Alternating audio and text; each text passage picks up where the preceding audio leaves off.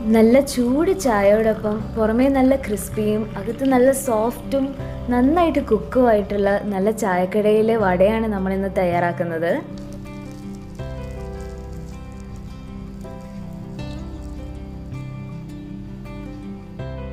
Home of റെസിപ്പീസിലേക്ക് എല്ലാവർക്കും സ്വാഗതം.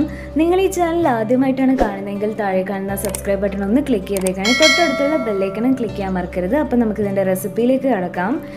അപ്പോൾ ഇത് ഉണ്ടാക്കാനായിട്ട് ആദ്യം തന്നെ ഒരു ബൗൾ എടുക്കാം. എന്നിട്ട് അതിലേക്ക് ഒരു കപ്പ് മൈദ ചേർത്ത് കൊടുക്കാം. ഇതിപ്പോൾ ടു ഫിഫ്റ്റി എം എല്ലിന്റെ ഒരു കപ്പാണ് അതിൽ നിറച്ചും മൈദപ്പൊടി ഈ പാത്രത്തിലേക്ക് ചേർത്ത് കൊടുക്കുന്നുണ്ട്.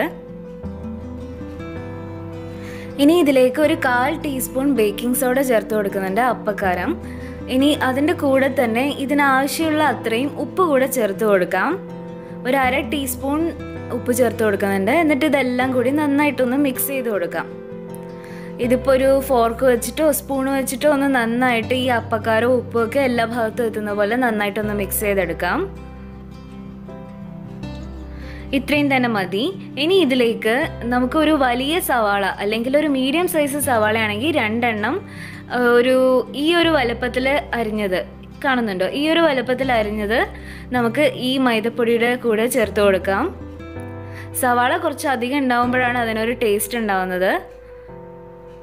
അതിനൊപ്പം തന്നെ ഒരു ഒരു അര ഇഞ്ചോളം കനത്ത് അത്രയും വലുപ്പമുള്ള ഇഞ്ചി ചെറുതായി അരിഞ്ഞത് ഇതിലേക്ക് ചേർത്ത് കൊടുക്കാം. അതുപോലെ ഒരു ദണ്ട് കരിവേപ്പില ചെറുതായി ഒന്ന് നുറുക്കിയത് ഇതിലേക്ക് ചേർത്ത് കൊടുക്കുന്നുണ്ട്. പിന്നെ എരിവിനനുസരിച്ചിട്ട് പച്ചമുളക്. അതിപ്പോൾ രണ്ട് പച്ചമുളകാണ് ഇവിടെ ചേർക്കുന്നത്. അപ്പോൾ എരിവിനനുസരിച്ചിട്ട് അതിന്റെ എണ്ണം കൂട്ടുകയോ കുറക്കുകയോ ചെയ്യാം. എന്നിട്ട് ഇതൊന്ന് നന്നായിട്ട് ആദ്യം ഒന്ന് സ്പൂണ് വെച്ച് മിക്സ് ചെയ്യാം. അതിനുശേഷം കൈ കൊണ്ടൊന്ന് നന്നായിട്ട് തിരുമ്പി മിക്സ് ചെയ്യുന്നുണ്ട്.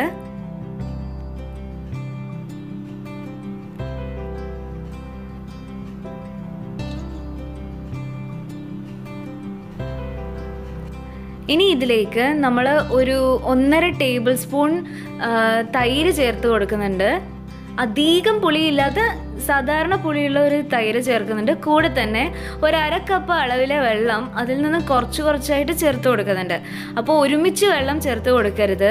അപ്പോൾ നമ്മുടെ തൈരും കുറച്ച് വെള്ളവും കൂടി ചേർത്തിട്ട് ആദ്യം ഒന്ന് കൈവച്ചിട്ട് നന്നായിട്ടൊന്ന് മിക്സ് ചെയ്ത് കൊടുക്കാം. അതിനുശേഷം അല്പാൽപമായിട്ട് ഈ വെള്ളം ചേർത്ത് കൊടുക്കാം. അര കപ്പ് വെള്ളം അളന്നെടുത്തു എന്നേ ഉള്ളൂ അത് മുഴുവൻ ഒഴിച്ചിട്ടില്ല കേട്ടോ. ഇത് നമ്മൾ ഇതുപോലെ ഒന്ന് നന്നായിട്ടൊന്ന് കുഴച്ച് വെച്ചതിന് ശേഷം അല്പനേരം ഒന്ന് റെസ്റ്റ് ചെയ്യും. അപ്പോൾ ഈ ഉള്ളിൽ നിന്നൊക്കെ ഇനിയും വെള്ളം ഇറങ്ങി വരും. അപ്പോൾ അതുകൂടെ ഒന്ന് വിചാരിച്ചിട്ട് വേണം വെള്ളം ചേർത്ത് കൊടുക്കാൻ. ആദ്യം തന്നെ ഒരുപാട് വെള്ളം ചേർക്കരുത്. ഇപ്പോൾ ഇവിടെ നമ്മൾ എടുത്ത അളവിൽ ഒരു ഒന്നര രണ്ട് ടേബിൾ സ്പൂണോളം വെള്ളം ബാക്കിയുണ്ട്. അതായത് ഒരു അര കപ്പിൽ നിന്നും രണ്ട് ടേബിൾ സ്പൂൺ കുറവ് വെള്ളമാണ് നമ്മളിതിൽ ചേർത്തത്. ഇനി ഇതൊന്ന് നന്നായിട്ടൊന്ന് കൈവച്ചൊന്ന് ഇതുപോലെ ഒന്ന് ബീറ്റ് ചെയ്ത് കൊടുക്കാം. ഒരു രണ്ട് മൂന്ന് മിനിറ്റ് ഒന്ന് ബീറ്റ് ചെയ്താൽ മതി. ഇനി ഇത് നമുക്ക് അടച്ചു വെച്ചിട്ട് മിനിമം ഒരു രണ്ട് മണിക്കൂർ ഒന്ന് റെസ്റ്റ് ചെയ്യാം. അപ്പോൾ തണുപ്പുള്ള സ്ഥലമാണെങ്കിൽ ചിലപ്പോൾ കുറച്ച് നേരെ ഇത് പുളിക്കാനായിട്ട് ടൈം എടുക്കും. അതുകൊണ്ടാണ് നമ്മൾ തൈര് ചേർത്തത്. തൈര് ഓപ്ഷണൽ ആണ്. തൈര് ഇല്ലെങ്കിൽ വെള്ളം മാത്രം ചേർത്ത് മിക്സ് ചെയ്താലും മതി. ഇതിപ്പോൾ നമ്മൾ മിക്സ് ചെയ്ത് വെച്ചിട്ട് ഒരു രണ്ട് മണിക്കൂർ കഴിഞ്ഞിട്ടുണ്ട്. അത്യാവശ്യം ഒന്ന് പൊളിച്ചിട്ടുണ്ട്. ഇനി നമ്മൾ എന്ത് വേണമെന്ന് വെച്ചാൽ നമ്മൾ കൈ ഒന്ന് ഒരു പാത്രത്തിൽ ഇതുപോലെ വെള്ളം എടുത്ത് വെച്ചിട്ട് കൈ ഒന്ന് അതിലൊന്ന് നനച്ചു കൊടുക്കാം ഇടത്തെ കൈ. എന്നിട്ട് വലത്തെ കൈയും അതുപോലെ ഒന്ന് നനച്ചതിന് ശേഷം നമ്മുടെ ഈ മാവുണ്ടല്ലോ അത് ഒരു കൈ കൊണ്ട് എടുത്തിട്ട് മറ്റേ കൈയിലൊന്ന് വെക്കാം. കണ്ടോ? നല്ല ഒരു ബോൾ മാതിരി നിൽക്കുന്നില്ലേ അതിനുശേഷം നമുക്ക് ആ വെള്ളത്തിൽ ഒന്ന് കൈ മുക്കിയിട്ട് ഒരു വിരലൊന്ന് ഇതുപോലെ ഒന്ന് മുക്കിയിട്ട് ഇതിന്റെ നടുക്ക് ഒരു വലിയൊരു ഹോൾ ഇട്ട് കൊടുക്കാം. കണ്ടോ ഇനി ഇത് എണ്ണ ചൂടാവുന്ന സമയത്ത് ഇതുപോലെ വിരലൊന്ന് അല്പം ഒന്ന് അനക്കി കൊടുത്തു കഴിഞ്ഞാൽ അത് എണ്ണയിൽ പ്രോപ്പറായിട്ട് ആ കറക്റ്റ് ഷേപ്പിൽ വീഴും. അപ്പോൾ ഇനി നമുക്ക് ഇതുപോലെ ഉണ്ടാക്കാം. ഇങ്ങനെ ഉണ്ടാക്കാൻ ബുദ്ധിമുട്ടാണെങ്കിൽ നമ്മൾ നേരത്തെ പാൽവട ഉണ്ടാക്കുക ഇപ്പോൾ കാണിച്ചില്ലേ? വാഴയിലയിൽ സ്പ്രെഡ് ചെയ്തിട്ട് അങ്ങനെയും ചെയ്യാം. അപ്പോൾ അതിന്റെ ലിങ്കും ഇതിന്റെ താഴെ കൊടുക്കാം. അപ്പോൾ ഇനിയിപ്പോൾ നമ്മൾ ചൂടായ എണ്ണയിൽ നിന്ന് നമ്മളിപ്പോൾ എണ്ണ ചൂടാക്കാൻ വേണ്ടി വെച്ചിരുന്നു. അതിൽ നിന്ന് ഒരു ടീസ്പൂൺ എണ്ണ ഇതിലേക്കൊന്ന് ചേർത്ത് കൊടുക്കുന്നുണ്ട് ചൂടായ എണ്ണ. എന്നിട്ടൊന്ന് മിക്സ് ചെയ്ത് കൊടുക്കാം കേട്ടോ അപ്പോൾ ഇത് ഉണ്ടാക്കുന്നതിന് മുന്നേ ഇങ്ങനെയൊന്ന് ചെയ്യുവാണെങ്കിൽ ഇത് അധികം എണ്ണ കുടിക്കുകയില്ല. മാത്രമല്ല നമ്മളത് നല്ല ക്രിസ്പി ആയിട്ടിരിക്കും പുറം ഭാഗം. അപ്പോൾ അതിനാണ് ഈ എണ്ണ ചേർത്ത് കൊടുക്കുന്നത്. ഇനി അത് ഒരു ടീസ്പൂൺ മതി കേട്ടോ ഇതൊന്ന് മിക്സ് ചെയ്തതിന് ശേഷം നമ്മൾ നേരത്തെ പറഞ്ഞ മാതിരി നമുക്ക് കൈ ഒന്ന് നനച്ചതിന് ശേഷം ഈ ഇതിൽ നിന്ന് ഒരു ഒരു ബോൾ ഇതുപോലെ എടുത്തിട്ട് നല്ല ഇതുപോലെ ഒന്ന് ബോളാക്കിയതിന് ശേഷം ഒരു വിരൽ അല്പം വെള്ളം ആ വിരലിലാക്കിയതിന് ശേഷം നടുക്കൊരു ഹോൾ ഇട്ട് കൊടുക്കാം. എന്നിട്ട് ഇത് നമുക്ക് ചൂടായ എണ്ണയിലേക്ക് ഇതുപോലെ അങ്ങ് ഇട്ട് കൊടുക്കാം. ഈ സമയത്ത് ഇതിന്റെ ഫ്ലെയിം എന്ന് പറയുന്നത് ഹൈ ആയിരിക്കണം. അതുപോലെ എണ്ണ അത്യാവശ്യം നന്നായിട്ട് ചൂടായിരിക്കണം. ഇല്ലെങ്കിൽ നമ്മൾ വട നന്നായിട്ട് എണ്ണ കുടിക്കാം. ഇത് ഇട്ടിട്ട് ഒരു ഒരു നാലഞ്ച് സെക്കൻഡ് കഴിയുമ്പോഴത്തേക്ക് ഇത് മുകളിലേക്ക് പൊങ്ങി വരും. അതിനുശേഷം നമ്മൾ ഫ്ലെയിം കുറച്ച് വയ്ക്കുക ഒരു ലോ ടു മീഡിയം ആക്കിയതിന് ശേഷം ഇത് ഇതുപോലെ മറിച്ചിട്ട് മറിച്ചിട്ട് നമുക്ക് കുക്ക് ചെയ്യാം. ഇല്ലെങ്കിൽ ഒരേ ഫ്ലെയിമിലാണെങ്കിൽ ഇതിന്റെ അകത്തുള്ള ഭാഗം പ്രോപ്പറായിട്ട് കുക്കാവില്ല മാവ് ശരിക്കും അങ്ങോട്ട് കുക്കായില്ലെങ്കിൽ ടേസ്റ്റും ഉണ്ടാവില്ല. അപ്പോൾ ഒരു മീഡിയം ലോ ഫ്ലെയിമിൽ ഇത് നന്നായിട്ട് ഇതുപോലെ മറിച്ചിട്ടിട്ട് നമുക്ക് നന്നായിട്ടൊന്ന് കുക്ക് ചെയ്തെടുക്കാം.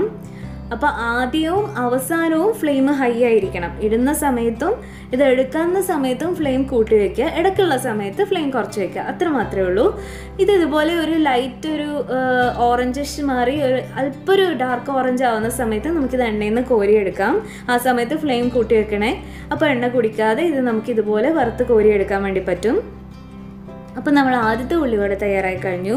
ഇനി ഇതുപോലെ നമുക്ക് ബാക്കിയുള്ളത് ഉണ്ടാക്കിയെടുക്കാം. ഇതുപോലെ ബോളാക്കി കൈ ഒന്ന് നന്നായി നനച്ച് അതിന്റെ നടുക്കൊരു ഹോൾ ഉണ്ടാക്കിയതിന് ശേഷം എണ്ണയിലേക്ക് ഇട്ട് കൊടുക്കാം.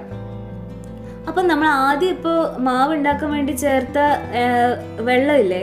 ആ വെള്ളം കൂടിപ്പോയി എന്ന് വിചാരിക്കാം. അപ്പോൾ നമുക്ക് ഈ പ്രോപ്പറായിട്ട് ഷേപ്പ് ഉണ്ടാക്കാൻ പറ്റില്ല.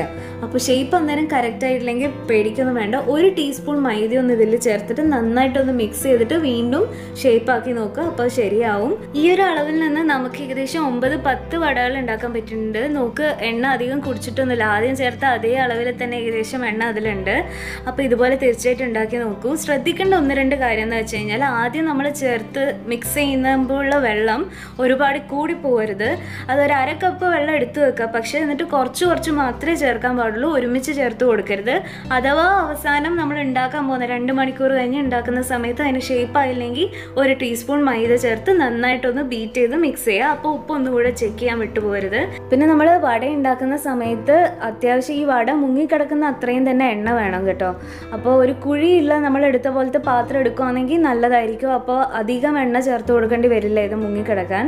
പിന്നെ നമ്മളിപ്പോൾ ഒന്നിൽ കൂടുതൽ വട ഉണ്ടാക്കുവാണെങ്കിൽ അപ്പോൾ എല്ലാം ഒരുപോലെ ആ ഷേപ്പിൽ കിട്ടണമെന്നില്ല. അപ്പോൾ ഇടുന്ന സമയത്ത് ചിലപ്പോൾ ലാൻഡ് ചെയ്യുന്ന സമയത്ത് ചിലപ്പോൾ അതിന്റെ ഷേപ്പ് മാറിപ്പോവും. എന്നാൽ കുഴപ്പമൊന്നുമില്ല. അത് ഉണ്ടാക്കുന്ന സമയത്ത് ഒന്ന് രണ്ടെണ്ണം ഉണ്ടാക്കി വരുന്ന സമയത്ത് അത് ശരിയാവും കേട്ടോ. ഇത് നല്ല ടേസ്റ്റാണ് ആറി കഴിഞ്ഞാലും തന്നെ സൂപ്പർ ടേസ്റ്റാണ് തീർച്ചയായിട്ടും ട്രൈ ചെയ്ത് നോക്കണം. നല്ല ചൂട് ചായയും ഇതും നല്ല സൂപ്പർ കോമ്പിനേഷനാണ് തീർച്ചയായിട്ടും ട്രൈ ചെയ്ത് നോക്കണം. ഇഷ്ടപ്പെട്ടാൽ ലൈക്ക് ചെയ്യാനും ഷെയർ ചെയ്യാനും കമന്റ് ചെയ്യാനും മറക്കരുത്. Thank for watching